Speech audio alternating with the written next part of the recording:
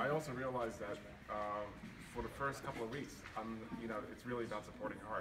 She's really the caregiver. She's really, um, you know, she's really doing a lot.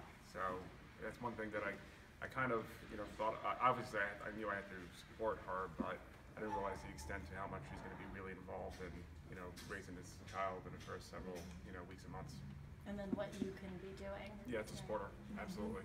Okay. That, and that was, I think, the biggest value that I got out of this as being a father. Um, and I'm glad he got that out of it too. So important. I was hoping, you know, if he hears it from someone else, Yeah. that it would Right.